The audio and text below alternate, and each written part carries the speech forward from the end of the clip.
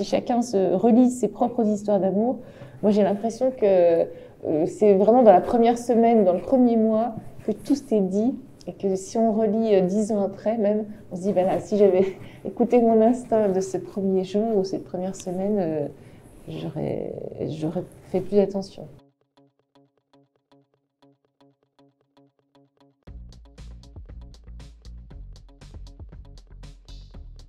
Euh, en fait, c'est Karine Evrard, qui est productrice chez UGC, qui avait lu le livre et qui l'aimait depuis des années, qui cherchait à l'adapter et qui à un moment a pensé à moi, je ne sais pas pourquoi, et m'a fait lire le livre et je me suis dit ah oui, il y a quelque chose à en faire. Et voilà, donc euh, c'était une histoire d'amour euh, au bord de la mer, ce que je n'avais jamais fait, donc je me suis dit que c'était intéressant.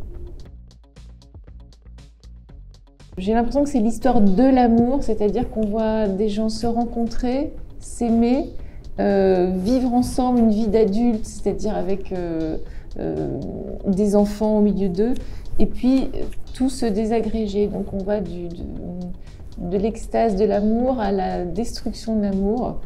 dans le même temps, sans. et ce que j'ai essayé de faire, c'est qu'on ne se dise pas c'est de sa faute à lui, c'est de sa faute à elle, c'est qu'on comprenne que c'est dans l'amour même, dans le rapport amoureux que peut euh, se créer euh, la, destruction même de l'amour. On, se détruit pour les raisons mêmes qu'on a aimé. Oui, alors bah, justement, j'ai essayé de. Dans le roman, c'était une femme extrêmement toxique, désagréable, chiante en deux mots. Et je me suis dit que c'était plus intéressant d'en faire quelqu'un de d'exigeant, presque d'intemporel, qui croit à l'amour de façon très très romanesque.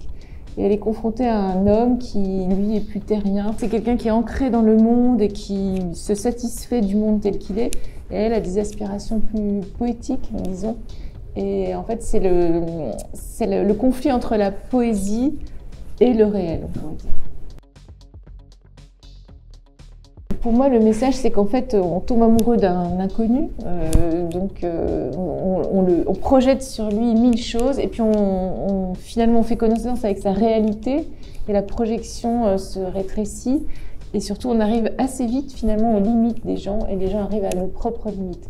Et c'est quand on est à cette limite, pour moi, que, qu'on peut voir vraiment ce qu'est ce l'amour, c'est est-ce qu'on peut dépasser cette limite ou pas.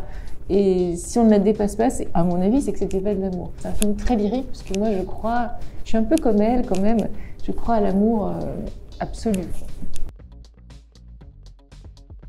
Donc je peux pas faire un film qui serait euh, pas euh, un témoignage aussi de ce qu'on vit aujourd'hui. Donc lui, il écoute du rap, elle, elle écoute Jean-Louis Murat.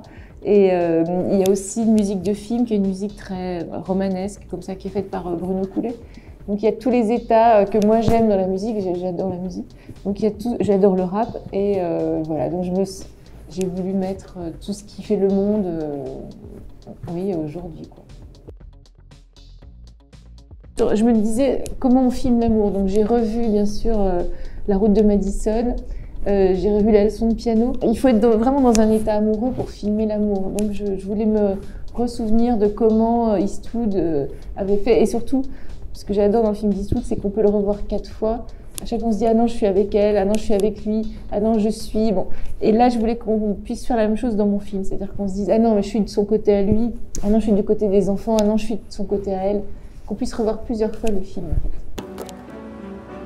Arrête Moi avec toi, c'est la première fois que j'aime comme ça. Je voudrais juste savoir où elle est. Tu peux pas la laisser vivre avec cette question. J'avais peur.